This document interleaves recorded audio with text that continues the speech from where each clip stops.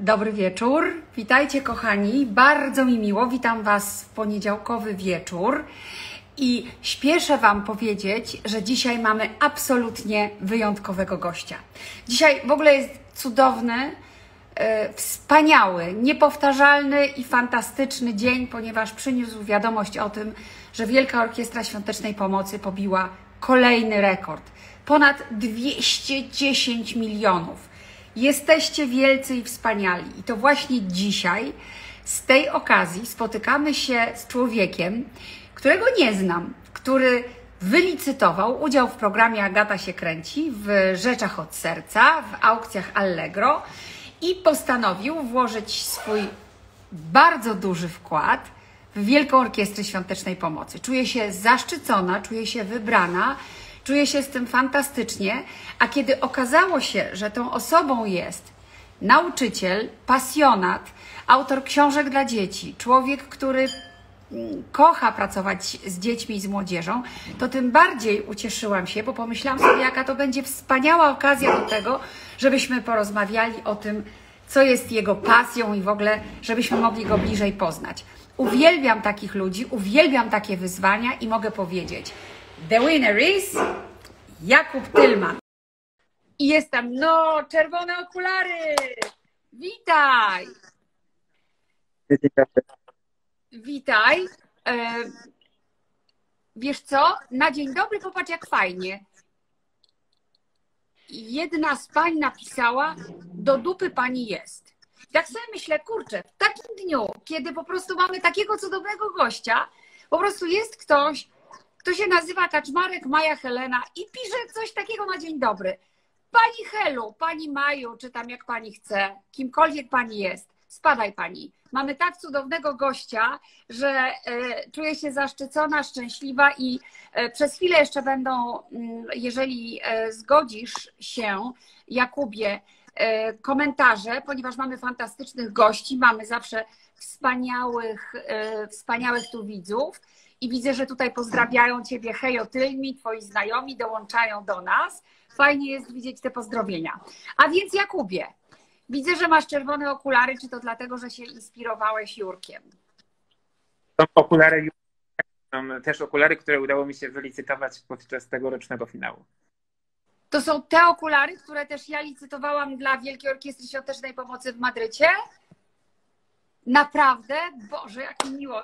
E, Jestem naprawdę przeszczęśliwa. Jakubie, opowiadaj, dlaczego się na to zdecydowałeś? Dlaczego wziąłeś udział w akcjach Rzeczy od Serca?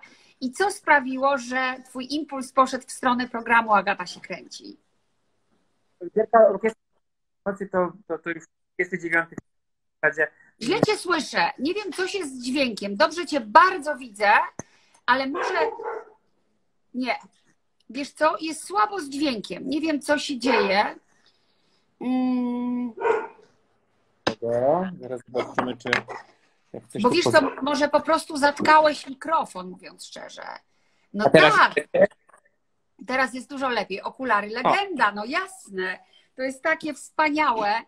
Jestem w ogóle ek- tak podekscytowana, tak się cieszę, że Cię mogę poznać. No dobra, mów. Mi bardzo również jest, jest, jest tak samo miło. Mm, Więc to, to jest 29 finał. Ja odkąd pamiętam aktywnie uczestniczyłem w tych finałach, bo e, no, ja mam prawie ty, no, no niewiele lat więcej niż Orkiestra Świątecznej Pomocy, więc i ja, jak i inne roczniki miały okazję korzystać już z tego, e, co Orkiestra Świątecznej Pomocy robi dla, e, dla Polski, dla Polek, dla Polaków, tak? I jakby to mi jest miło, że ja mogę dzisiaj w tych aukcjach uczestniczyć i pomagać tym, którzy tej pomocy będą jeszcze potrzebować i, e, i, i na tą pomoc dziś nie mogą liczyć, ale dzięki temu, że jestem ja i jest są miliony Polaków, którzy dokładają się do tego, tak? No bo tych ludzi jest cała masa. Możemy tworzyć fajne, piękne rzeczy i między innymi dzisiaj będziemy wspólnie rozmawiać. Jakubie, powiedz, y, a co się stało, że Twój palec y, skierował się w stronę Enter na aukcję Allegro Agata się kręci? To był też chyba taki impuls i, i ja mm, e, podziwiałem em, e, te programy już wcześniej, miałem okazję je oglądać i stwierdziłem, kurczę, to może być fajna przygoda, możemy poruszyć wiele fajnych, e, fajnych rzeczy i udało się, jestem. Ja Ci tak dziękuję. Wiesz, to jest zawsze taki bardzo emocjonujący moment, kiedy wiesz, że tam y, te kwoty przeskakują i kiedy widzisz, że trochę to idzie do góry, do góry, potem przez chwilę jest stagnacja, a potem końcówka jest taka emocjonująca, wiesz, to są bardzo duże pieniądze, blisko 10 tysięcy złotych za udział w programie, wiesz, to, to dla mnie jest no, wielki naprawdę zaszczyt, więc tym bardziej y, naprawdę jestem wzruszona i Ci bardzo serdecznie dziękuję. Dołączyłeś do grona naprawdę wielkich gwiazd, które pokazywały się w tym programie, które mówiły o bardzo ważnych rzeczach, o trudnych rzeczach. E, I, i, i myślę, że i myślę, że dodajesz blasku tym gwiazdom poprzez to, jakie masz serce. Ale powiedz, e, bo w opisie, o który poprosiłam, Przysłałeś bardzo dużo informacji o sobie. Właściwie o każdej z tych informacji moglibyśmy zrobić osobny program. Wszystko razem prowadzi do tego, że jesteś pasjonatem nauczania, z tego co zrozumiałam. Czy możesz opowiedzieć, czym się zajmujesz, jakie książki dla dzieci piszesz, jaka jest Twoja y, aktywność zawodowa, na czym polega? Więc tak naprawdę zajmuję się wielo, strasznie dużo, wieloma rzeczami, które, które, którymi w życiu się zajmuję. I edukacja jest e, gdzieś tam od lat e, chyba 12, bo nią się zawodowo zajmuję, tą najbliższą mojemu sercu i temą, której poświęcam bardzo dużo czasu. Oprócz tego, że prowadzę swoje placówki oświatowe, bo i przedszkola, i szkołę podstawową, to pracuję również w szkole małej, wiejskiej, na wsi położonej od pięciu lat blisko tam e, poświęcałem swój czas e, poza tymi innymi rzeczami zawodowymi, które robię. Jakie książki piszę? To są bardzo proste ekologiczne historie. To są historie, które mają przekonać dzieci do ekologicznych zachowań. To są książki, które nawiązują do poszanowania zwierząt, do dbania o środowisko, by pszczoły miały gdzie żyć. Jedna z książek jest książką, która jest strasznie strasznie autentyczne, to e, nie wiem, czy e, wszyscy będą tutaj kojarzyć, ale rok temu e, do Polski przyjechał transport tygrysów z Hiszpanii, które ugrzęzły na granicy, które trafiły do poznańskiego zoo, a potem do ośrodka w Alicante. Pojechałem z uczniami e, tej szkoły, tych, tych naszych tutaj szkół, odwiedzić te tygrysy na taką wyprawę i po tej wyprawie powstała piękna książka, gdzie pokazujemy zdjęcia e, tych uratowanych na granicy tygrysów i ta historia apeluje do wszystkich o to, by z rozwagą e, mówić o zwierzętach, z rozwagą traktować i z całym wielkim szacunkiem do zwierząt, ale też z apelem do tego, że dzikich zwierząt miejsce jest miejscach im dedykowanych, absolutnie nie w domu, absolutnie nie w cyrku, absolutnie nie w miejscach, w których doznają krzywdę. Jak to się stało, że się tym zacząłeś zajmować? Jak, jak odkryłeś w sobie tę pasję? Trudno jest mi to powiedzieć. To po prostu był taki moment, kiedy coś tam tworzyłem i to, to były to były proste jakieś takie historie, które udało mi się je po prostu mm, gdzieś tam przeleć na papier, zilustrować, znaczy zilustrować, zilustrował, zilustrowali to ilustratorzy i dodali tej książce blasku, ale, ale właśnie to było, mm, to był taki impuls i te książek póki co, więc to są, tak jak mówię, proste historie dla dzieci e, bardzo, bardzo młodych, małych, e, przedszkolaków, mm, ale jakże uważam, że ważne i potrzebne. Jest takie przysłowie, obyś e, cudze dzieci uczył. Czy ty się z tym identyfikujesz, czy wręcz przeciwnie? Jak najbardziej identyfikuję się, e, identyfikuję się z tym, choć muszę powiedzieć, że e, praca w szkole nie jest pracą łatwą. Ona jest w tej chwili pracą bardzo mm, taką omawianą e, publicznie i e, mówi się o tym, jak to nauczycielom jest w życiu bardzo dobrze, jak to mają dwa miesiące wakacji. Absolutnie nie chcę dzisiaj tutaj wychodzić ze stanowiska i bronić wszystkich nauczycieli, ale mm, ja e, mogę z doświadczenia własnego powiedzieć, że praca w szkole nie jest pracą łatwą, nie jest pracą wdzięczną. Może to też zależy od miejsca, do którego się trafi, do środowiska, w którym się pracuje. A gdzie trafiłeś? Jaka była twoja pierwsza szkoła? Moja pierwsza szkoła, do jakiej trafiłem, to była szkoła w, w Poznaniu. E, uczyłem w liceum ogólnokształcącym na kilku godzinach i, i, i wówczas e, uczyłem się, uczyłem się tego zawodu, ale wtedy mm, to było liceum i gimnazjum, bo to już, już, już jeszcze były gimnazja wówczas. Wtedy wiedziałem, że bardzo dobrze pracuje mi się ze starszymi, z, z młodzieżą. Mm, i tam dojazdy i, i kawałek do domu, które miałem, Potem przez chwilę miałem przerwę w uczeniu, bo zajmowałem się e, swoimi tutaj placówkami, ale pięć lat temu trafiłem do wiejskiej szkoły, e, małej szkoły e, na terenach, no, no, no na terenach wiejskich, ale nie wiem, dziś, dziś jeszcze, ja tam cały czas pracuję, ale bardzo trudno mi się o, o, o tej szkole mówi. Ponieważ, Dlaczego?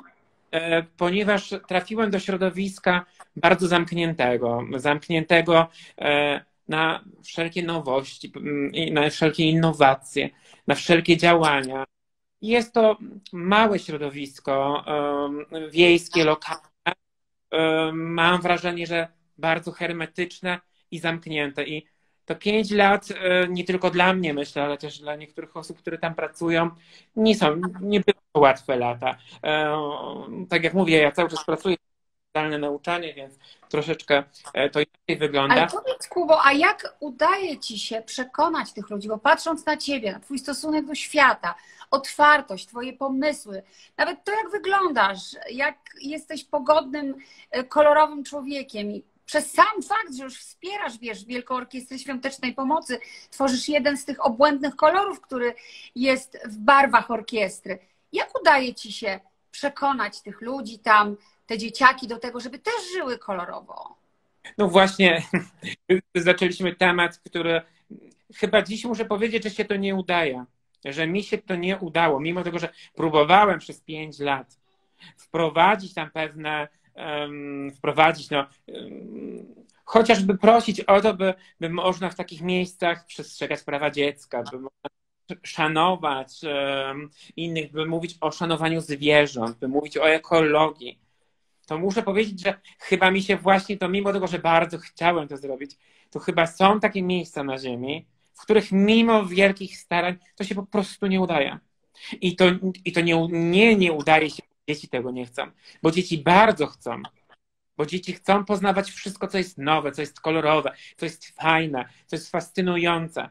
Ale opór społeczny, opór rodziców, który się pojawia w takich miejscach, kiedyś mi się wydawało, że jest to niemożliwe, że przecież ten świat musi być kolorowy, ten świat musi być taki fantastyczny, ten świat musi e, taki po prostu być i on na pewno wszędzie taki jest, a jak nie jest, to trzeba ten świat tam wprowadzić ale dziś już muszę powiedzieć, że są takie miejsca, gdzie po prostu tego się nie da zrobić.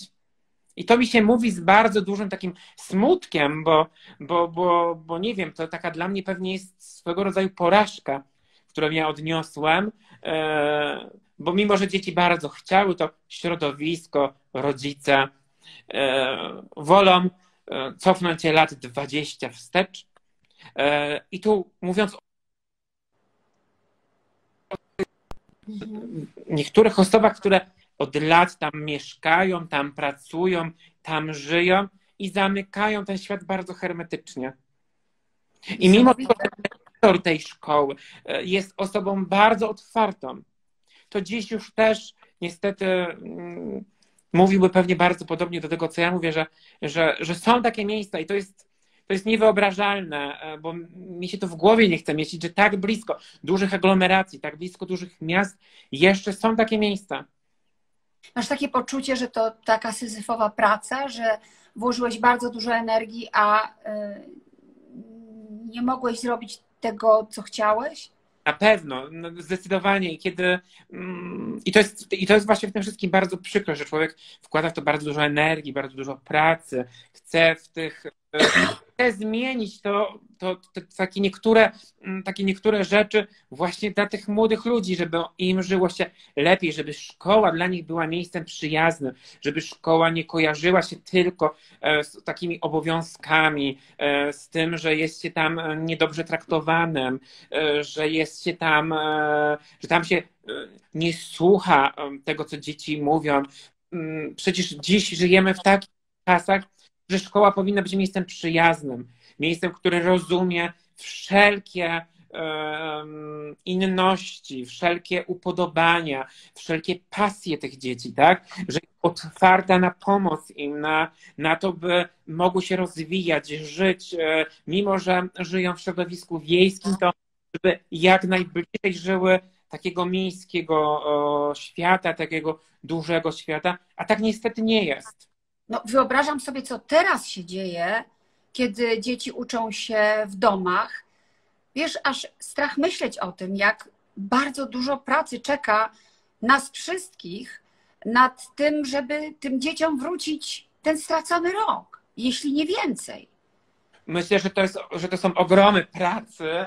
Yy i mm, te, te, takiego czasu, którego się już nie da cofnąć, tak? No bo e, jeszcze na tyle, ile, ile dzieci w, mia w miastach większych, mniejszych, ale miastach mają możliwość sobie zorganizowania tego czasu, to niestety dzieci na terenach wiejskich siedzą przez cały czas w domu. No, tyle, co wyjdą do pracy e, w gospodarstwie, jeśli... E, jeśli... I, I w ogóle pytanie, czy mają komputery, czy mają dostęp do Wi-Fi, no z tym jest też ogromny problem, bo to już z doświadczenia mogę powiedzieć, że mimo, że minął rok i wróciliśmy teraz do takiego lockdownu, gdzie wszystkie dzieci kształcą się na odległość, to cały czas niestety e, e, tych, tych, tego sprzętu tam nie ma. To jest dla mnie też bardzo niezrozumiałe, tak? No bo jeśli żyjemy już rok w tych czasach, mm, rodzice pobierają zasiłki na dzieci, przecież te, te, te, formy wsparcia są, a dziś nadal są dzieci, które borykają się z brakiem sprzętu.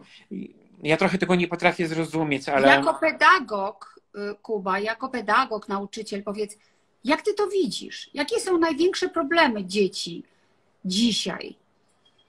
E, no dzisiaj dzieci w Polsce jest samotność, jest to, że one są same, zamknięte w czterech ścianach i są tylko z komputerem. I ta samotność będzie prowadziła wiele dzieci do mm, depresji.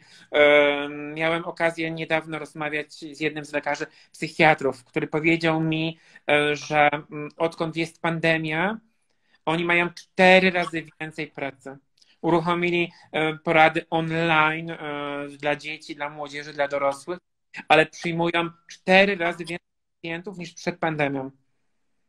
Więc jeśli przyjmowali dziennie 20, teraz mają 100 pacjentów dziennie.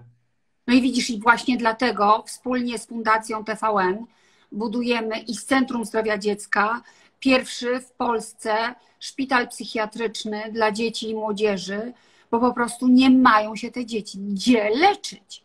Jest to miejsce bardzo potrzebne i e, już od wielu miesięcy, czy nawet lat mówi się o tym, że psychiatra w Polsce jest na bardzo e, słabym poziomie, o ile w ogóle możemy mówić o jakimś poziomie tej psychiatrii, bo w wielu wywiadach czy na wielu forach czytamy rodziców, którzy opisują, jak wyglądają szpitalne korytarze, w jaki sposób e, można ocenić funkcjonowanie tych oddziałów. Ja jestem głęboko poruszony tym, że w XXI wieku, w takich czasach, tak. wydawałoby się, nowoczesnych, kiedy mamy dostęp do super telefonów, do internetu.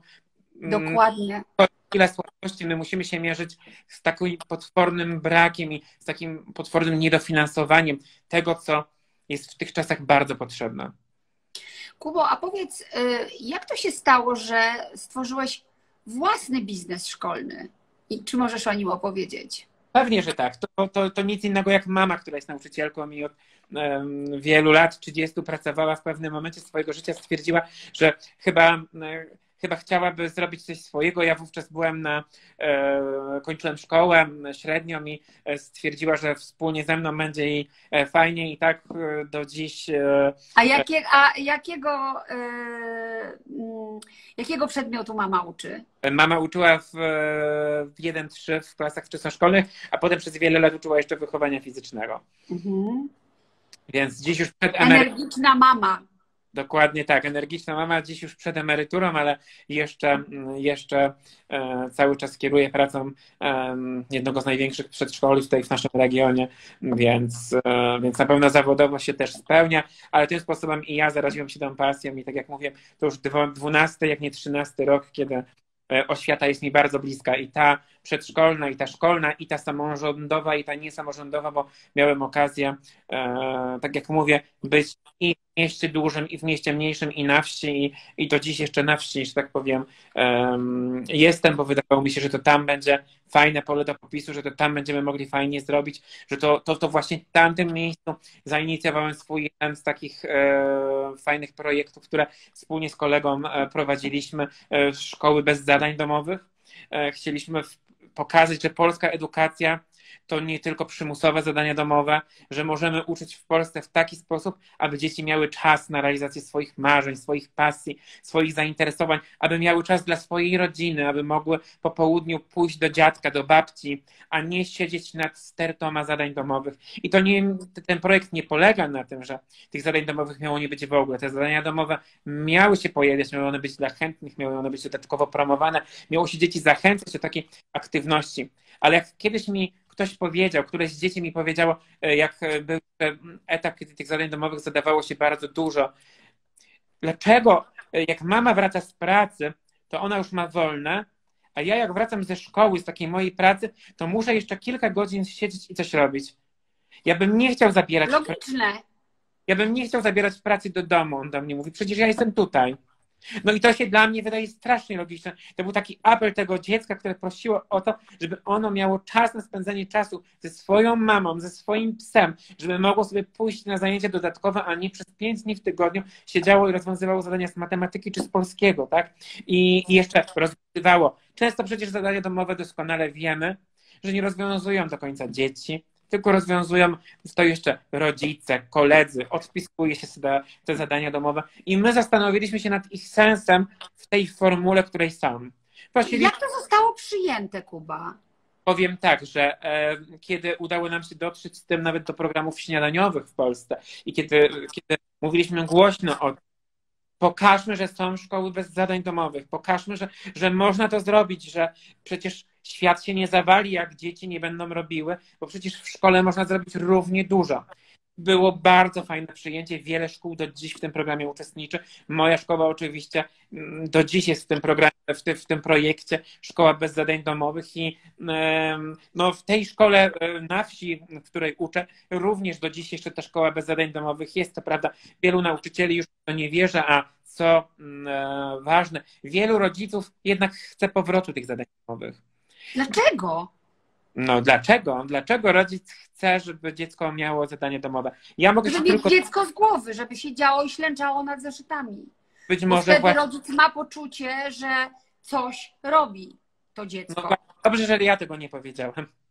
Bo, mm, ale ja też mam takie poczucie, że często właśnie tak jest, że, tych, że, że tego środowiska niektórych nie da się przekonać do tego, że przecież nic, nic się złego nie stanie, jak to zadanie domowe będzie dla chętnych i ono sobie je zrobi z przyjemnością, bo dostanie piątkę, albo zrobi wtedy, kiedy będzie chciało je zrobić, kiedy będzie miało ochotę, a nie wtedy, kiedy będzie musiało je zrobić, bo jeśli coś musimy robić, to wiadomo, że nie robimy tego chętnie, tak? Jeśli tego nie czujemy, nie umiemy, nie chcemy, przecież wielu rodziców nie potrafi pomóc własnym dzieciom, bo no, no w siódmej, ósmej czy w szóstej klasie języka angielskiego czy z matematyki są takie zadania, gdzie rodzic może mieć problem, żeby pomóc własnemu dziecku i to dziecko jest zmuszone do czego? Do tego, żeby albo szukał tych rozwiązań w internecie, żeby jeśli nie potrafi tego zrobić, albo żeby przed lekcją spisać na kolanie. I czego uczymy dzieci? No nie uczymy ich na pewno sumienności, staranności, systematyczności, jak to niektórzy podkreślają, tylko uczymy ich oszustwa. Powiedzmy to głośno, najzwyczajniej w świecie uczymy ich oszustwa. Ale być może nie wszystkie szkoły w Polsce są na to gotowe. Być może ta rewolucja musi postępować powoli, ale ja jestem przekonany, że projekt Szkoły bez zadań domowych jest projektem, który zasługuje na uznanie i zasługuje na to, by e, uwolnić e, dzieci od kajdanek zeszytów e, prac, a teraz na zdalnym nauczaniu to już w ogóle jest to dla mnie niepojęte, że dziecko siedzi przed komputerem czasami po 8 godzin. Nikt nie, nie zastanawia się nad tym, czy ono już, już ma, jeszcze ma wzrok dobry, e, tylko zadaje mu się kolejne zadania domowe, gdzie też musi korzystać e, z komputera czy z internetu. Po co inny, ale słyszymy tłumaczenia, że przecież dziecko i tak siada do komputera, i tak siada do komórki. Ale kiedy to jest zupełnie co innego, to jest zupełnie co innego. Dokładnie. Kiedy ona sobie odpala swój portal społecznościowy, albo kiedy ona sobie czyta swoją książkę, ona to robi z przyjemnością, z relaksem, spędza miło czas na rozmowach z koleżanką, bo w inny sposób tego zrobić nie może, a nie kiedy zmuszamy go do e, wykonywania jakichś prac domowych. I ja wiem, że ten projekt ma masę zwolenników, ale ma tyle samo przeciwników, e, które, których jakby e, ma. I ja szanuję każde zdanie, ale będę bronił zawsze tego zdania, które będzie e, szanowało prawa dziecka, bo przecież prawa dziecka to prawo do jego wypoczynku, to prawo do spędzania czasu ze swoimi bliskimi, tak? To prawo do tego, by można siebie wyrażać w szkole, tak? Żeby, Boże, żeby... ja ci powiem coś, Kuba, mi się chce płakać, jak to mówisz. Jestem tak wzruszona, naprawdę. Po prostu myślę o tym, że to nie do wiary, że jest ktoś, kto tak głośno po prostu mówi w imieniu dzieci, z troską o te dzieci. Ja też przez chwilę uczyłam w szkole i rozbiłam się, wiesz, o pokój nauczycielski.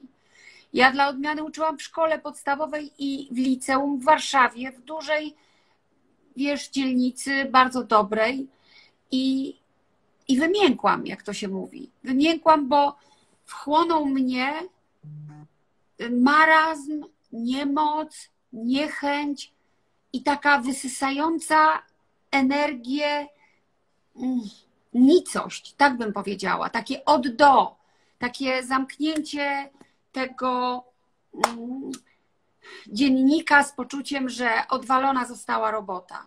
A wiesz, mi się po prostu świat gotował dookoła. Ja, ja chciałam z nimi omawiać Białoszewskiego, słuchać dorsów. Wiesz, myśmy mieli fantastyczny przelot ale za to dostałam trochę w łeb, wiesz, w, w liceum. I, i, I stwierdziłam, że nie będę w to szła, że wolę y, pomagać dzieciom indywidualnie. Przez długi czas dawałam korepetycje i, i miałam takie poczucie, że jest coś takiego w szkole, co sprawia, że nie można zmienić tej rutyny. Chociaż bardzo wiele wspaniałych szkół powstało. Ale zobacz, że ta przemoc, ta rutyna, one zawsze wezmą górę. Albo prawie zawsze.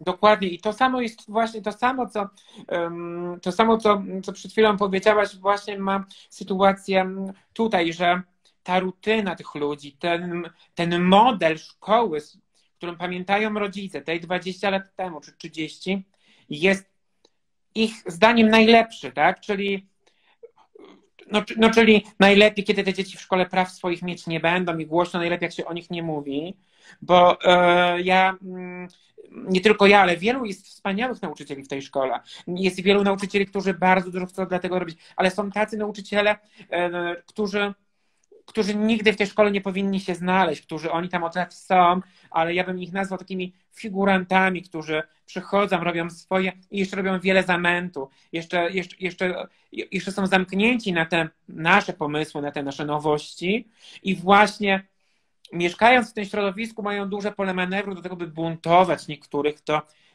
do tych nowych działań przychodzą, no gdzie takie coś, gdzie e, ja pamiętam, jak musiałem na jednej z rad pedagogicznych walczyć o zmianę statutu, o to, by dzieci, e, żeby, żeby dzieci do szkoły mogły mieć przyjść w kolczykach, żeby mogły mieć wymalowane paznokcie. No ja wiem, no kurczę, nauczyciel w szkole może mieć wymalowane paznokcie, mieć makijaż. Ja nie mówię tu o jakichś potwornych e, malunkach, tak, ale, ale mówię o o ubraniu się w sukienkę, o, o ubraniu, o wymalowaniu paznokci, zrobieniu makijażu. Przecież kiedy była trzecia klasa gimnazjum, to, to te dzieci miały już po kilkanaście lat, bo to, to były nastolatkowie, którzy chcieli w jakiś sposób swój indywidualny wyglądać, tak? I, e, i ja tu nie mówię o jakichś skrajnościach absolutnie, tylko mówię, że Ale oni... wiesz co, no jeżeli to, jeżeli to nie, mm, e, nie jakby nie jest tylko i wyłącznie zajęciem e, młodego człowieka, tylko oprócz tego, że fajnie wygląda, bądź kolorowo wygląda, bądź wygląda inaczej, jeszcze oprócz tego się uczy i jest ok w szkole, to dlaczego nie? Dlaczego nie? No przecież to jest jego prawo do tego, tak? Jakim prawem my, dorośli, mamy e, prawo mówić dziecku, nie możesz przyjść ubrany w taki sposób, nie możesz przyjść w pomalowanych paznokciach. Jeśli rodzic wychowuje swoje dziecko, to on wie najlepiej, na co wolno mu pozwolić, a na co nie. I my w szkole nie powinniśmy tego weryfikować, tak? Bo jeśli mama pozwoliła pomalować paznokcie, to widocznie styl i sposób wychowania mamy jest właśnie taki, tak? I, i, I, jeśli rodzic pozwala na to dziecku, to ja sobie nie potrafię wyobrazić tego, jak ja mogę dziecku wstawić uwagę, bo to nie jest uwaga dla tego dziecka, to jest uwaga dla tego rodzica. Bo to przecież no, no, no dziecko ma lat 15 czy tam 14, no to, to ja muszę ukarać rodzica, a nie dziecko jakimiś punktami minusowymi z zachowania. E, przecież ono nie zrobiło nic złego, tak? Takie, takie było moje zdanie, ale, no, ale absolutnie w takich środowiskach się nawet z tym nie powinno walczyć, bo się będzie stłamszony od razu. Tam się zwraca uwagę, jak ktoś przyjdzie ubrany w innym niż standardowym kolorze spodni. Dopuszcza się spodnie granatowe i czarne. Jak ktoś przyjdzie w żółtych czy pomarańczowych spodniach, nie pasuje do tego środowiska, on jest inny, nie z tej planety. To jest przerażające. Jakie to może mieć konsekwencje dla tych dzieci, które chcą wyglądać inaczej, które chcą podkreślić swój indywidualizm? No te dzieci nie mają prawa tam żyć. Ja to, ja to muszę powiedzieć już z pełną świadomością tego, co mówię. Na żadną inność w takich miejscach nie ma miejsca.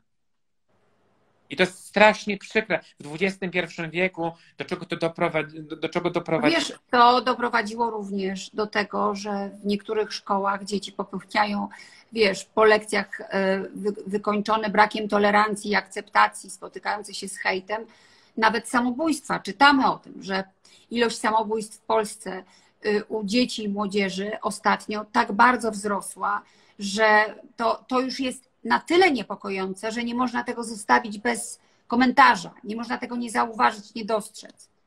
Ale jeśli tam hejt wylewa się na nauczyciela, no to tam się hejt wyleje również na dziecko i to jakby z najmniejszą, e, że tak powiem, dozą, e, nie wiem, e, tam nie będzie z tym absolutnie żadnego problemu w, takim środowisku. Ja wiem, że ja dzisiaj mówię mm, w takim, ja mówię po prostu prawdę, bo, bo ja nie chcę absolutnie, żeby ktoś się poczuł urażony, jak, jak nawet to ogląda. Ja po prostu mówię prawdę, mówię o swoich odczuciach, o tym, jak bardzo wiele dobrego można było z- zrobić, można było zmienić, ale jak, jak strasznie ten świat jeszcze jest e, hermetycznie e, zamknięty w takich miejscach. To jest miejsce, gdzie bardzo dużą rolę odgrywa klasztor, e, gdzie bardzo dużą rolę stawia się na, mm, na religię.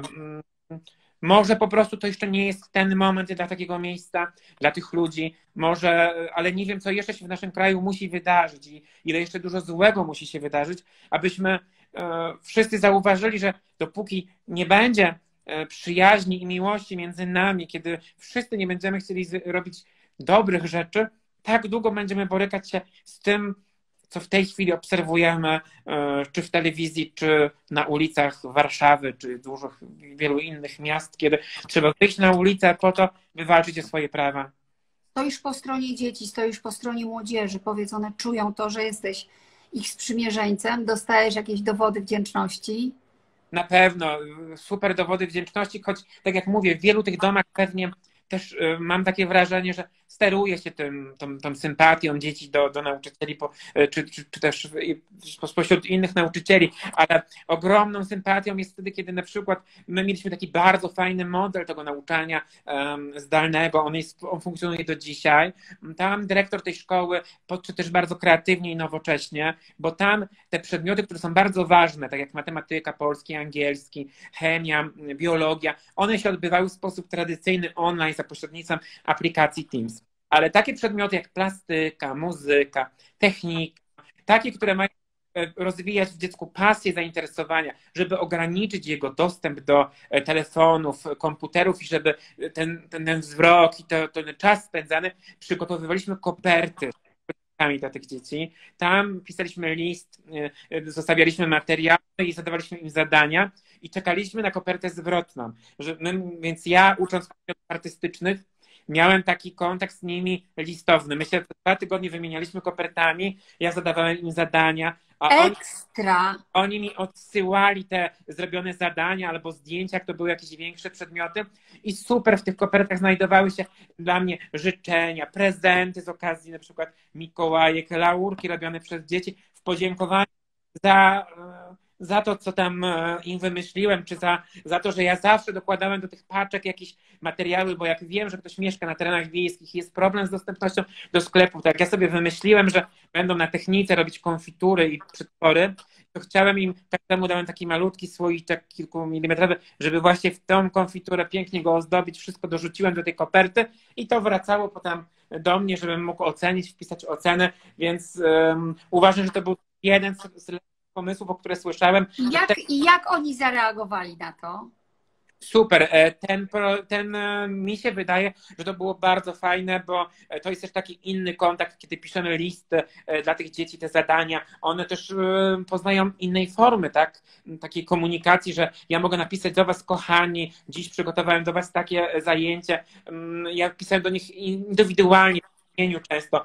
Kacper, Wiktor, Kasia, Amelka, tak? Żeby one poczuły się wyjątkowo w tym tym dniu smutnym, szarym, kiedy będą otwierać tą kopertę, to zobaczą, że ja dla nich napisałem, że dołożyłem im e, coś fajnego, że, że to będzie inna lekcja niż taka w sposób tradycyjny prowadzona, bo to jest taki przedmiot, na którym sobie możemy na taką lekcję po prostu pozwolić, no bo e, więc to jest bardzo dobry pomysł i uważam, że e, dyrektor e, tutaj e, wymyślając tą inicjatywę tak zwanych lekcji pudełkowych powinien być przykładem dla wielu polskich szkół, dla wielu dzieci, które mogłyby właśnie w taki sposób te niektóre przedmioty realizować, bo no to wszystko chodziło o zdrowie tych dzieci, o taki komfort psychiczny, o to, że nie trzeba siedzieć przed komputerem i, i, tłumaczyć, i, i, tylko spędzić ten czas po prostu innej formie. Rozwaliłeś mnie kompletnie. No właśnie widzę, aż nie wierzę, bo ja po prostu mu opowiadam o tym, co, co my tam robiliśmy. A dla mnie to jest szok, że, że to potrafi ciebie wzruszyć, a, a niektórych doprowadzały te działania do, do emocji skrajnie innych, tak? I, e, Jak ja bym chciała mieć takiego nauczyciela, ja miałam fajnych nauczycieli, ale wiesz, po prostu słucham ciebie i myślę sobie w tym strasznym, okropnym świecie, w którym teraz przyszło tym dzieciom żyć. E, po prostu jesteś takim, no po prostu, no nie wiem, jakimś niesamowitym darem, prezentem. I w ogóle ja w ogóle nie wierzę w to, że to ty wiesz, wylicytowałeś, to, to, to aż nie do wiary, że ktoś tak wspaniały, wiesz, zechciał zapłacić za to, żeby wystąpić, żeby o tym powiedzieć. Wiesz, to ja ci powinnam zapłacić za to, że ty tu występujesz. Wiesz, po prostu mam czuły punkt, jeśli chodzi o dzieci. Jestem kawalerem orderu uśmiechu i yy, też zaczynałam jako nauczycielka, tak jak Ci mówiłam, i wiesz, i, i, i wiem, jak to jest cholernie ważne i jak to jest naprawdę potrzebne, żeby dzieci wiedziały, że mają sprzymierzeńców. Dlatego, że teraz na świecie hula wiatr po prostu nienawiści, lęku, strachu, zastraszenia coś potwornego dzieje się z y, głowami ludzi dorosłych, które po prostu w oderwaniu od prawdziwej miłości zapominają o tym, co jest dobre dla dzieci, a dzieci po prostu potrzebują uwagi, serdeczności, ciepła, lojalności, szacunku i uwagi, uwagi. Dokładnie. I tu mi się zaraz nasuwa, jak, jak, jak mówimy o tych kwestiach, e, to ile jest w ludziach jadu, nienawiści, nie wiem, zazdrości czy złości. Dokładnie, znaczy niedawno, rok temu minął, kiedy już wspominałem o tym projekcie, kiedy wybraliśmy mm, e, wspaniałą młodzież e, ze szkół e, właśnie tej wiejskiej i tutaj tej miejskiej, która dostała okazję wylecieć po raz pierwszy dla większości z nich samolotem do Alicante. Trafiliśmy, być może, znaczy trafiliśmy na czas bardzo trudny, bo w dniu, kiedy my wylatywaliśmy, w Polsce no, ogłosili pierwszy przypadek osoby chorej na koronawirusa. Więc był to bardzo nerwowy czas zarówno dla nas, kiedy my już byliśmy w drodze e, do, do Alicante. E, tam, e, tam nas przyjęli fantastycznie w tym ośrodku przeżyliśmy fantastyczną przygodę. Myślę, że te dzieci, które spędziły tam trzy dni, e, będą pamiętać do końca życia, bo one doznały po raz pierwszy wielu rzeczy, których nigdy pewnie nie będą mieli okazji tam doznać. Ale co jest ważne w tym, co, do czego ja zmierzam? Byliśmy tam szczęśliwi. Te dzieci e, cieszyły się radością, ale kiedy wróciliśmy, to e, mi odechciało się wracać do tego miejsca. Wielu rodziców, dzieci które chodziły do tej szkoły, wymusiły, wymuszały żebyśmy my już tam nie wrócili, żeby one się przez dwa tygodnie w szkole nie pojawiły, bo one przywiozą zarazę, bo my jesteśmy źli, że tam byliśmy. E, przez nich. Że to jest nie na pewno niepoważne, tak. nie, że jesteście nierozsądni. Ten hejt, który się wylał na rodziców, którzy puścili dzieci, był niewyobrażalny. Niektórzy z tych rodziców mieli swoje firmy, które produkują na przykład e, surówki, warzywa. Odwrócili się od nich ludzie. Nie chcieli u nich kupować, bo ich dzieci pojechały do Hiszpanii. Przecież my pojechaliśmy, kiedy granice były otwarte, przecież my nie, nie, nie naruszyliśmy żadnych. Ja, ja wtedy też pojechałam do Hiszpanii. My ja wtedy też byłam, byliśmy obok siebie. Teraz nie był chory.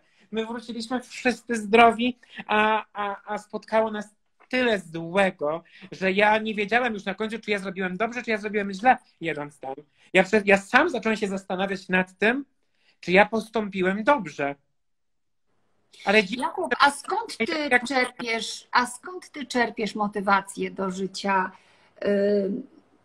do tego, co robisz, do, do te, co cię nakręca? Ludzie, mnie fascynują ludzie i, i, i wszelkie rozmowy, spotkania z ludźmi, wymiana wspólnych mm, poglądów, pomysłów nakręca mnie do działania i nakręca mnie do tego, by robić super fantastyczne rzeczy i dlatego też między innymi szkoła podstawowa, którą prowadzę, to szkoła imienia kawalerów Orderu Uśmiechu. To Więc... ja! Może kiedyś do Was przyjadę. Więc właśnie, właśnie nasuwa mi się ta myśl, że, że musimy się chyba zobaczyć po prostu w realu. No musimy zobaczyć się w realu. Ja byłam na otwarciu szkoły imienia kawalerów Orderu Uśmiechu, ale to było na wybrzeżu. E, byłam wspólnie, z, byłyśmy razem z panią Henryką Krzywonos, która też jest laureatką e, i e, z panią Jolantą Kwaśniewską. My we trzy. Każda z nas w innym oczywiście okresie dostała ten order uśmiechu. I, i, i byłyśmy w maleńkiej szkole właśnie na Pomorzu. Natomiast no, wiesz, jeżeli jest taka szkoła imienia kawalerów y, Orderu Uśmiechu, no to słuchaj, jestem z jednym z tych kawalerów, więc przyjadę na skrzydłach, przylecę do ciebie. No to Tylko bardzo... powiedz, gdzie ta szkoła? I będzie mi bardzo miło Śrem Wielkopolska, to, to tutaj to tutaj no. No to polecimy do Śremu. No I co? to tutaj pokażemy Wam piękne miejsca, jak może wyglądać nowoczesna szkoła, ile może mieć fantastycznych rzeczy, jak może być inna niż każda zwykła szkoła. Bo my właśnie... Kuba, co jest dla Ciebie największą nagrodą w tej robocie? Właśnie to, że ludzie, którzy e, to, że ludzie posyłają dzieci do szkoły czy do przedszkola, e, pod, które tworzę, bo mm, ja nie tworzę zwykłych rzeczy, bo ja nie lubię takiej standardowej pracy. Ja nie, ja nie odnalazłbym się w pracy za biurkiem przez 8 godzin, bo mm, ja jestem stworzony do tego, by tworzyć nowe rzeczy, by, by wymyślać fajne akcje, by ulepszać ten świat, żeby on był jeszcze piękniejszy i żeby wszystkim się żyło e, inaczej, fajnie, kolorowo, by, by, by właśnie takie miejsca jak szkoła, przedszkole kojarzyły się tylko z fajnymi rzeczami i żeby dzieci chciały tam chodzić, żeby to nie było, że tak jak ja chodziłam do szkoły, to ja niestety rano wstawałem i zmuszałem się do tego, by tam iść, bo to dla mnie nie było nigdy fajne miejsce. Ja nie spotkałem na swojej drodze szkoły, w swojej karierze, do której bym chodził chętnie. Ja, ja nie pasowałem nigdy do tej szkoły, ja zawsze czułem się w niej obco, inaczej. Ja zawsze sobie wyobrażałem tę szkołę inaczej i taką sobie próbuję ją zbudować dla, dla tych dzieci, które gdzieś tam otaczam, taką próbowałem, e, próbowałem trochę na miastkę tej szkoły przenieść gdzie indziej. To mi się nie udało, dziś już się do tego muszę, muszę przyznać, choć nie jest mi łatwo. E, tutaj w Śremie, w szkole e, tworzymy fajne rzeczy, tu Cię zapraszamy i tu e, tu myślę, że. Lecę na pewno jak to, no pewnie, że tak. Y, Kubo, teraz szykują się kolejne zmiany w polskiej szkole. Y, jest nowy minister, są y, nowe perspektywy programowe. Powiedz, jak się na to zapatrujesz? Czym to mm. dla Was jest? Jak Ty to widzisz? Jakie to może mieć konsekwencje dla Was? Myślę, że te zmiany, które teraz próbuje się wprowadzać, mm, są niestety zmianami strasznie politycznymi. Ja uważam, że szkoła nie powinna być miejscem rozgrywek żadnych politycznych i bardzo trudno jest mi się z tym pogodzić, że nie ma takiej władzy, która oddałaby kierowanie sektorem oświaty w rękę profesjonalistów, w rękę ludzi, którzy się na tym znają. Bo Przyjąłbyś taką propozycję w idealnym hmm. świecie? Chyba nie, bo ja chyba, chyba moj, świat mojej szkoły byłby za bardzo piękny i za bardzo kolorowy, by był zaakceptowany przez. Ale wiesz, jak my byśmy chcieli mieć takiego ministra edukacji ja, jak ty?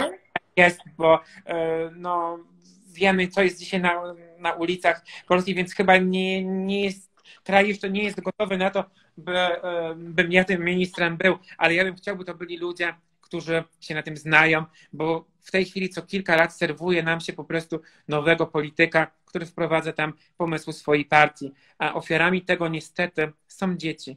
Bo to oni teraz przy przypakowanych podstawach programowych e, ślęczą nad e, e, nauką, nad tym, by e, zdać egzamin, tak? I e, to jest, to jest niewyobrażalne, ile w mojej ocenie złego robi system oświaty, który aktualnie jest w kraju polskiej młodzieży, polskim dzieciom. Po prostu ja uważam, że to po prostu powinno zostać napisane od nowa, może raz porządnie, ale na XXI wiek, tak jak byśmy chcieli, by to wyglądało, bo zmiany polityczne w książkach od historii, czy dodawanie godzin religii w szkołach, czy to, to nie prowadzi do niczego dobrego w mojej, w mojej ocenie, tak? Mimo tego, że szanuję wszystkich ludzi i wszystkich ludzi uważam, że należy szanować ze względu na swoje polityczne, to mamy prawo mówić głośno, co nam się podoba, a co nie. I ja po prostu tak postępuję. Ja uważam, że żaden polityk nie powinien rządzić polską szkołą, polsko, polskim zdrowiem, polskimi usługami społecznymi, tak, polską pomocą społeczną. Tym powinni rządzić specjaliści, którzy się na tym znają, a niektórym wydaje się, że się znają i, i którzy, którzy myślą, że mogą mogą jednym posunięciem zrobić wszystko, nie?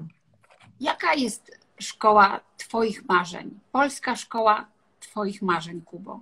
Polska szkoła marzeń to szkoła, do której dzieci przychodzą szczęśliwe, zadowolone, w której się je szanuje, akceptuje, toleruje, kiedy e, prowadzi się tą edukację w sposób strasznie kreatywny, w sposób taki, w którym dzieci chętnie biorą udział, kiedy szkoła jest kolorowa, pełna wspaniałych pomocy dydaktycznych, nowoczesna, oczywiście wyposażona w piękny sprzęt multimedialny, ale przede wszystkim kolorowa. E, te jednolite e, olejne farby powinny z polskich szkół zniknąć, tak? Powinno się tam pokazać dużo pięknych kolorów, fantastycznych projektów. E, ona powinna przyciągać młodzież do siebie, ale powinna szanować każdego ucznia, bo wiemy, że dziś tak nie jest i to dotyczy tylko inności wyglądu, ale to dotyczy też inności kulturowej. Mamy wiele przecież uchodźców, mamy wiele różnych ras, narodowości, które um, chodzą do polskiej szkoły, ale nadal ja sobie nie wyobrażam, żeby w szkole wiejskiej pojawiło się czarne dziecko, bo ono by tam życia nie miało. I to jest bardzo przykre, byśmy nawet na takim przykładzie się skupili. A jeżeli pojawiłoby się dziecko, które jest E, tęczowym dzieckiem, queerowym dzieckiem? Nie, w szkole, w tej, której ja uczę, nie ma miejsca dla takich dzieci. Cóż mam powiedzieć, mówię to z ogromnym bólem serca, ale mm, nie ma miejsca w takiej szkole dla takich dzieci. Po prostu te środowiska nie są absolutnie gotowe na zmierzenie się z czymś takim. Co można zrobić z waszego punktu widzenia, nauczycieli, jak można to zmienić?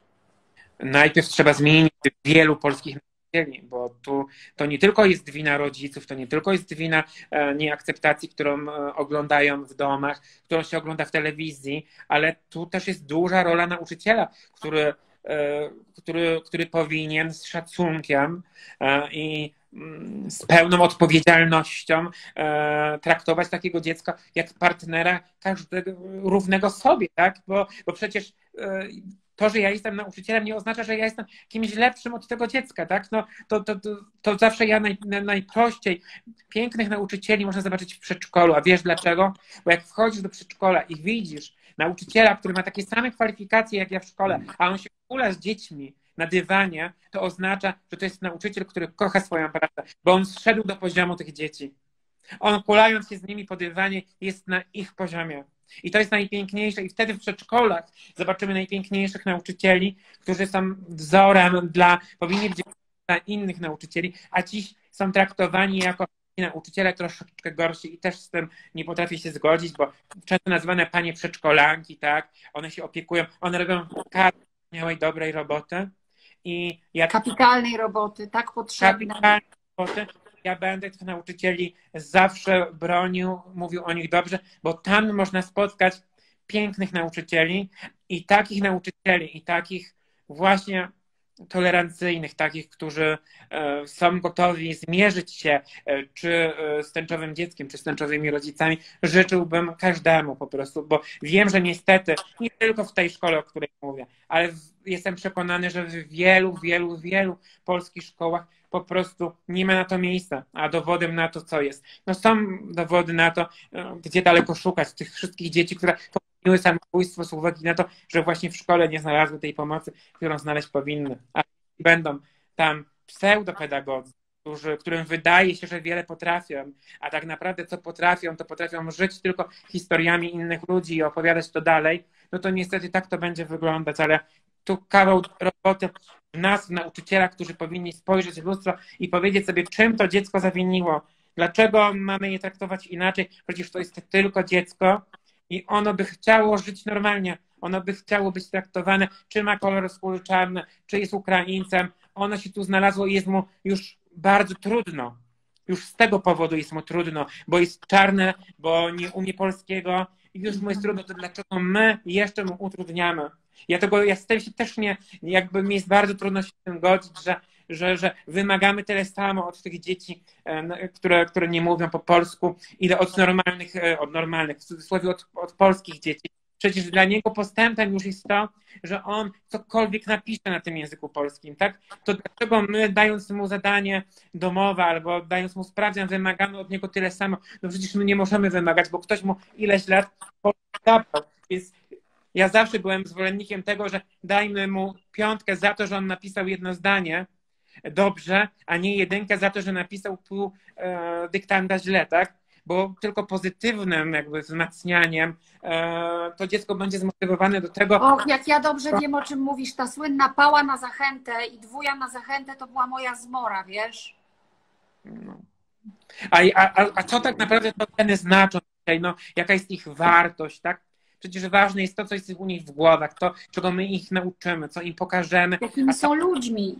Jakimi będą ludźmi, a nie to, czy mają jedynki, dwójki, trójki czy czwórki, bo e, ja zawsze wychodzę z założenia, że startujemy od szóstki, tak? Bo, bo, bo i, i się lepiej przechodzi, kiedy wiedzą, że, jak, że można liczyć na tą wysoką ocenę. One są zmotywowane do pracy i, e, i jakim prawem ja mamy mu dzisiaj dać jedynkę, bo on miał gorszy dzień, bo zrobił tą pracę gorzej, bo... bo no to na pewno słyszysz, no ale przecież musimy wygonić lenia, do czego to jest, szkoła musi wymagać, muszą być surowe wymagania, bo inaczej dzieciak się rozpuści.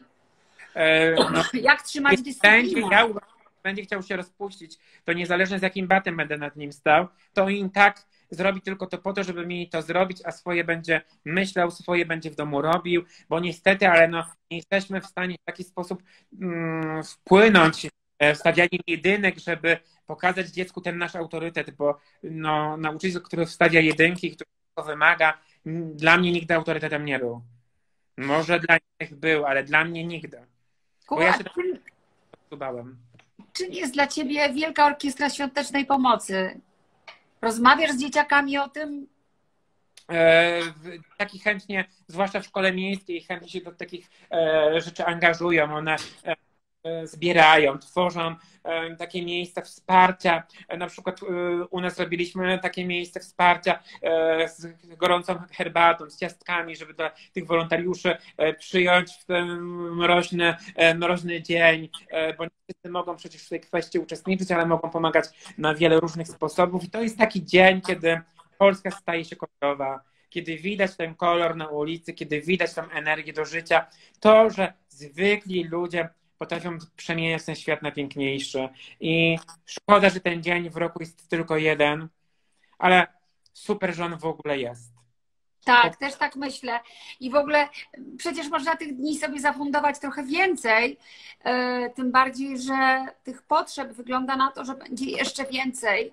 I ja nie wiem, ile by musiałoby być tych finałów Wielkiej Orkiestry Świątecznej Pomocy, żeby nadrobić to, co się teraz dzieje i, i żeby te straty jakoś nadrobić i żeby tym szpitalom pomóc i tym dzieciakom, które chorują i tym, które są tak bardzo potrzebujące. Wiesz, to, to jest taka studnia bez dna. Mam takie poczucie, że, że po prostu gdyby nie te właśnie zrywy Polaków, gdyby nie ten fantastyczny entuzjazm, to my byśmy byli w czarnej, nie powiem gdzie.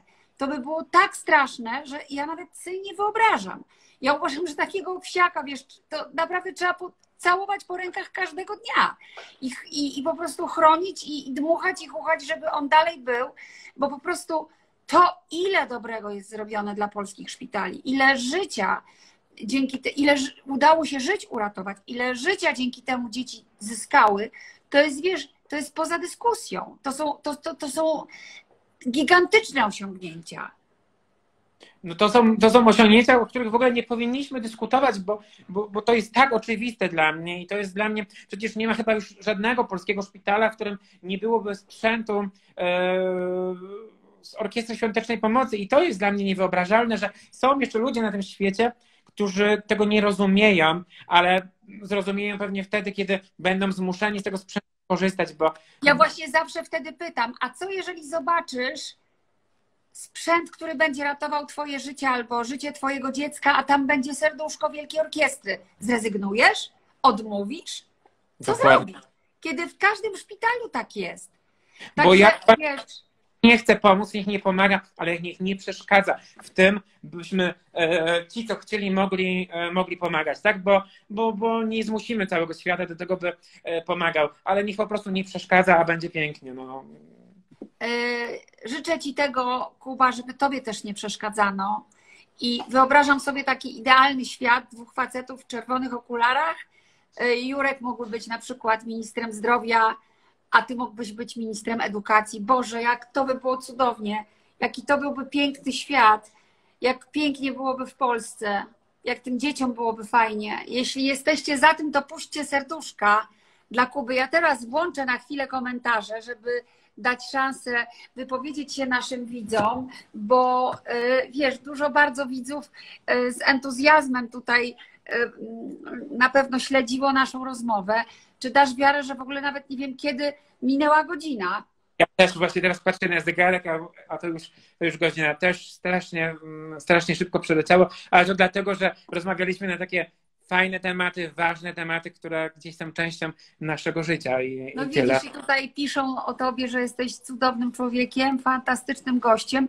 Ta rozmowa oczywiście będzie dostępna na YouTubie, więc będziesz mógł e, tę rozmowę wyrzucać z YouTube'a wszędzie, dokąd tylko będziesz chciał. Będzie oczywiście też wisiała u mnie na stronie w Instagramie, możesz ją udostępniać, możesz zrobić z nią co tylko chcesz, ponieważ zostałeś gwiazdą programu Agata się kręci i powiem szczerze, gwiazdą, która e, błyszczy chyba najpiękniejszym blaskiem. Przyznam ci się szczerze, Kuba, to jest zawsze taki niepokój, ponieważ nie wiesz, kto wylicytuje. I myślę sobie tak, Boże, co to będzie za spotkanie? Co to za gość, z którym przyjdzie mi rozmawiać przez godzinę? E, a jak to będzie jakiś but, a jak to będzie jakiś, słuchaj, nie wiem, nadęty koleś, a tu po prostu piękny, fantastyczny, cudowny człowiek. To dla mnie jest zaszczyt, że mogłam Cię poznać. I tak jak mówię, to ja właściwie powinnam Ci zapłacić za to, żebyś wystąpił w programie, a nie odwrotnie. Pociesza mnie tylko ta myśl, że te pieniądze wsparły Wielką Orkiestrę Świątecznej Pomocy. Ja również bardzo dziękuję. To było dla mnie cudowne przeżycie, że mogliśmy porozmawiać i być może wiele, być może obejrzą nas nauczyciele, być może obejrzą nas dyrektorzy, być może obejrzy nas ktoś, kto po tej rozmowie uzna, że faktycznie może niektóre elementy, o których mówiłem, warte są, żeby wypróbować, przetestować u siebie w szkole, a to już będzie dla nas największą nagrodą, bo to będzie oznaczało, że odmieniliśmy życie e, mm, kilkunastu, kilkudziesięciu czy kilkuset dzieci na świecie, którym przyjdzie się zmierzyć być może z tym, że będą nie będą mieli, musieli odrabiać zadań domowych, będą mieli czas dla siebie. Być może uda się nam tym apelem e, kogoś do tego przekonać, że świat będzie piękny nawet wtedy, kiedy dziecko nie będzie 4 godziny siedziało nad matematyką. I ja w to wierzę. Ja też w to wierzę, wiesz, i wierzę w to, że tak myślę, że nie musimy się uczyć lewych i prawych dopływów warty, że powinniśmy się uczyć języków obcych, że powinniśmy się uczyć tego, jak umieć wydać resztę, ewentualnie jak zarządzić pieniędzmi, co to jest, y, nie wiem, y, rachunek w banku, żebyśmy potem nie byli y, zapędzeni w kozi róg, że pieniądze to jest jakiś wstydliwy temat, że o pieniądzach się nie mówi. Odróżnić autobus od tramwaju, e, e, pociąg od tramwaju, e, autobus od trolejbusa. Taką pracę musimy wykonać, żeby dzieci potrafiły to w wieku lat 6, 7, 8 czy 9 rozpoznać, bo dziś niestety nie wszyscy to potrafią. Dziś nie wszyscy potrafią korzystać z, z przejścia dla pieszych, z sygnalizacji świetlnej. To jest przerażające, co ja mówię, ale tak niestety jest. I uczmy tego, uczmy dzieci życia, bo z tym życiem przyjdzie im się zmierzyć. Ja domyślam się, Kuba, że w dużej mierze to jakim jesteś gościem jest zasługą twojej mamy, nauczycielki. Na pewno, na pewno obojga moich rodziców i, e, i tego w jakimś, na, na, że pozwolili mi żyć w świecie, który sobie sam koloruje, tak? I jakby e, nigdy nie wskazywali mi, którą drogą mam podążać, tylko zawsze to mi pozostawiono ten wybór i to mi dawano taką e, możliwość decydowania o tym, co będę robił, kiedy będę robił, e, czy będę robił taką szkołę, czy taką, e, czy będę mieszkał w Polsce, za granicą. Moi rodzice mieli do mnie olbrzymią cierpliwość i olbrzymią akceptację do moich decyzji, więc na pewno to pozwoliło mi e, wiele fajnych rzeczy zrobić. A mama nas może ogląda albo będzie oglądała? Nie, mama nie jest absolutnie internetowa z tatą. Oni e, nie mają konta na Instagramie ani na, na Facebooku, więc. Ale im pokażesz. Sobie będą mogli obejrzeć. Super, bardzo się cieszę. Kubo, bardzo Ci dziękuję. Jestem naprawdę przeszczęśliwa, że Cię mogłam poznać. Wszyscy tu piszą i dziękują za tego live'a. E, wysyłają Ci serca i składają Ci gratulacje, biją Tobie brawo. I e, wiesz, właśnie Marta Metko pisze, że dyrektorzy powinni tego posłuchać, że to jest, e, że to jest rozmowa dla nauczycieli. Wiesz, dużo też wykazałeś w tej rozmowie odwagi, bo trzeba mieć odwagę cywilną, żeby powiedzieć o tym, że coś jest źle w środowisku, w którym lepiej jest nie mówić, że coś jest źle, bo jest jak jest, ale jest i niech tak będzie. No to ludzie słabi pewnie tak robią. Ja uważam, że trzeba mówić głośno o tym, jak jest, nawet jak jest źle, bo po to o tym mówimy, żeby być może wpłynąć na to, by było lepiej, po prostu, tak? I, jeśli nie będziemy o tym mówić, to nic nie zmienimy.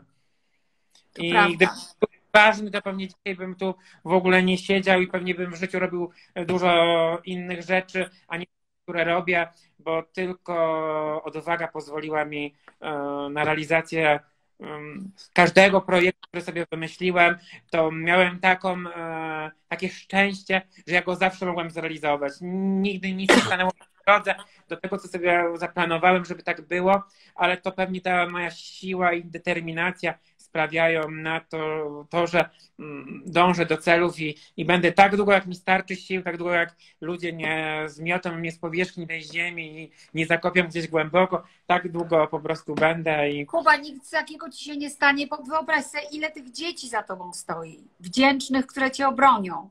To jest tak jak w Stowarzyszeniu Umarłych Poetów, na pewno oglądałeś film, znasz ten, ten cudowny przekaz o cudownym nauczycielu, który organizował dla dzieci e, nieprawdopodobną naukę po nocach i tak dalej. No po prostu to, to, to ty jesteś właśnie takim nauczycielem.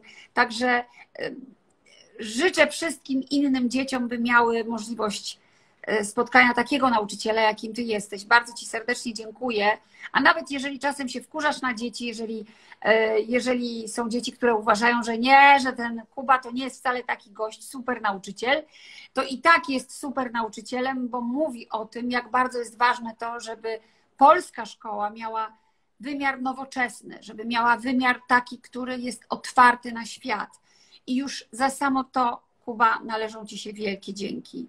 Bardzo, bardzo serdecznie Ci dziękuję. Pozdrawiam Cię serdecznie. Ja I, Wszystkiego. y, no i mam nadzieję, wiesz, jeszcze będziemy na pewno nieraz do tematów szkolnych wracać, więc y, jeżeli się zgodzisz, to, y, to, to zwrócę się do Ciebie z prośbą takiego live'a, jeżeli Ja byś miał ochotę. Dziękuję do zobaczenia. Widzimy się.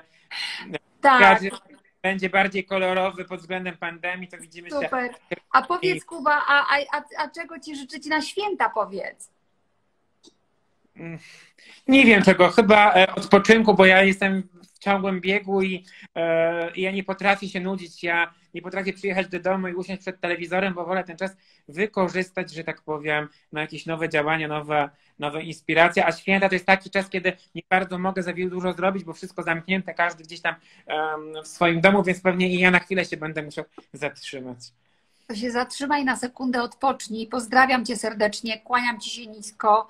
Jesteś mega gościem i pamiętaj, że zawsze też możesz liczyć na moje wsparcie. Zawsze, wal jak w dym. Masz maila, masz numer telefonu, jesteśmy już w jednym, wiesz, w jednym klubie. Trzymaj się. Pozdrawiam Cię Pozdrawiam. serdecznie.